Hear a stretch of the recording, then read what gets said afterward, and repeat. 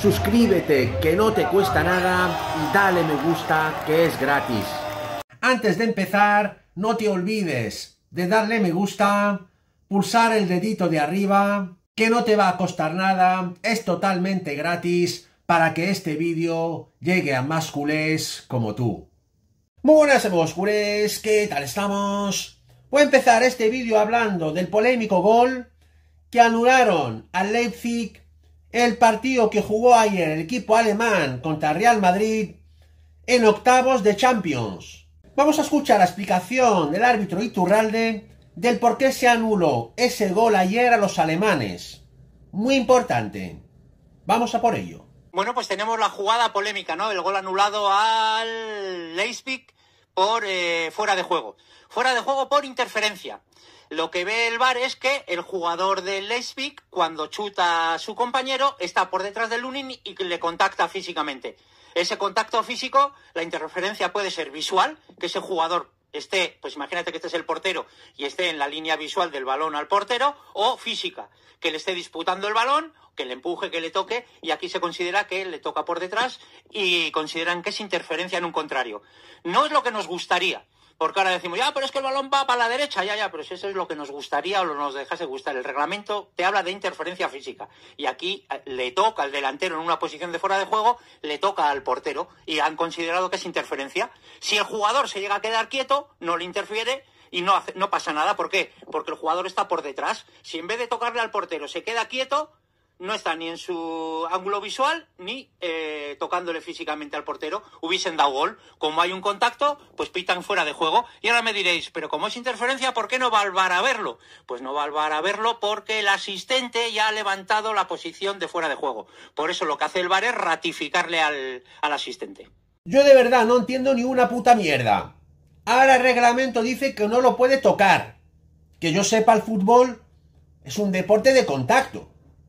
Y tocarlo, tocarlo, pues será que con los pelos del antebrazo.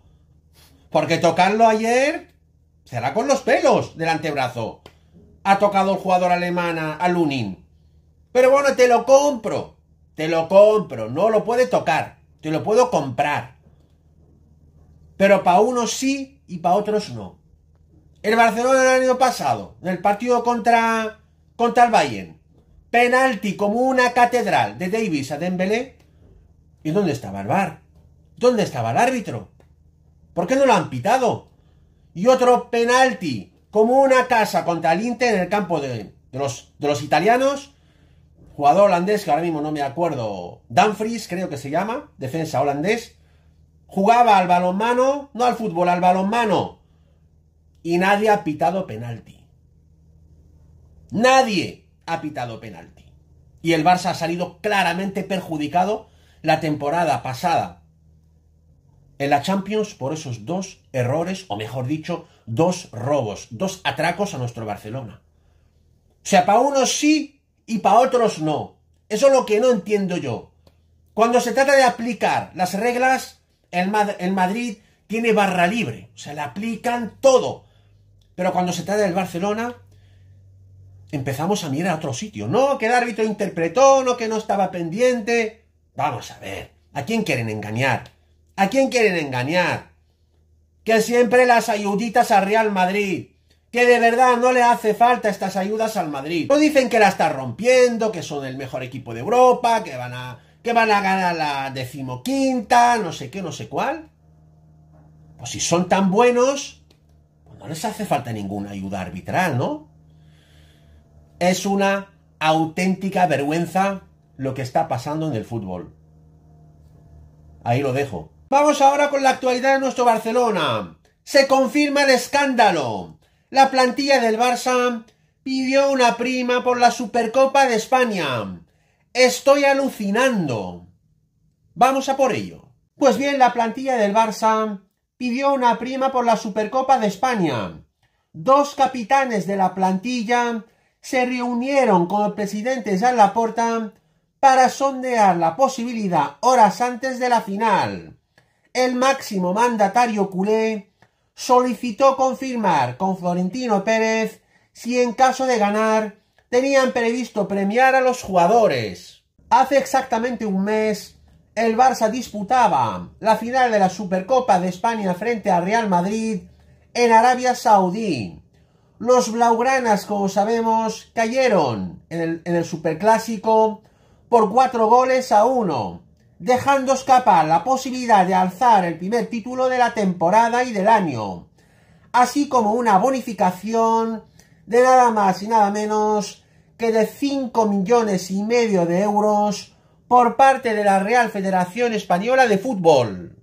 Aquel mismo día, horas antes de la final, se produjo un encuentro distendido entre dos capitanes del Fútbol Club Barcelona y su presidente Jean Laporta en el hotel de concentración barcelonista el JW Marriott. Un famoso medio nacional corrobora este miércoles una información adelantada por un medio culé el pasado 9 de febrero. Los dos representantes de la plantilla culé sondearon con el máximo mandatario la opción de recibir una prima en caso de ganar la final contra Real Madrid, que fuese extensible para el resto de profesionales que acompañan al equipo día a día, hasta 30 entre preparadores físicos, nutricionistas, fisioterapeutas, etc. En esa conversación también comentaron que los jugadores de Real Madrid sí que recibirían una compensación económica en el caso de alzar el título.